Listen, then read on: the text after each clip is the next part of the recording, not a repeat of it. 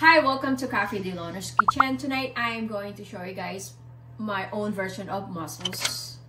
First, our two pounds of mussels, uh, fresh chopped parsley, olive oil, diced Roma tomatoes, chicken bouillon, sliced ginger, chopped garlic, and of course our white wine. And let's start it. All right, let's just turn on our stove to high heat. We're gonna start putting our olive oil. We are gonna start putting our um, sliced ginger.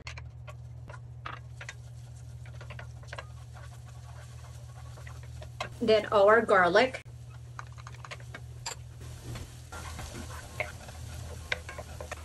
Then our diced Roma tomatoes.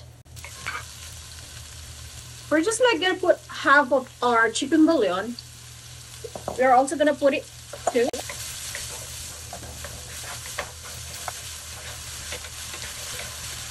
Now we're gonna start putting our uh, mussels.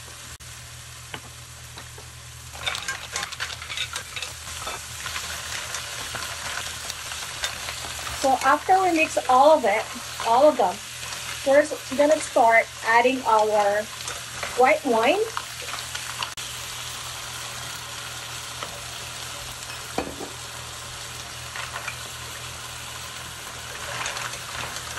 So now we're gonna cover it for about like 3 minutes just to make sure that they get all cooked. We're just gonna add a little bit of water.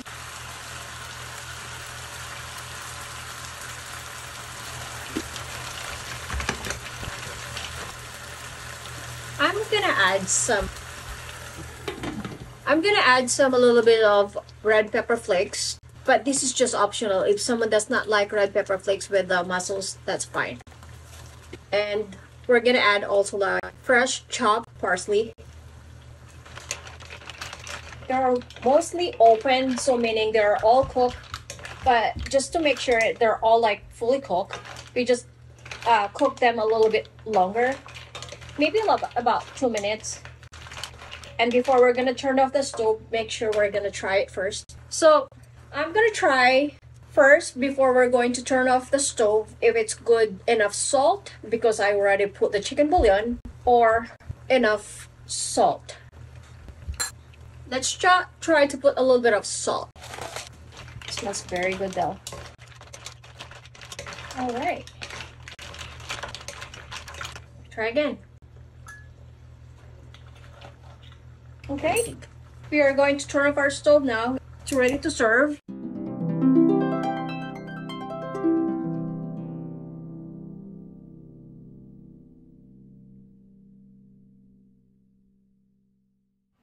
Thank you for watching. I hope you enjoy it. Please like and subscribe.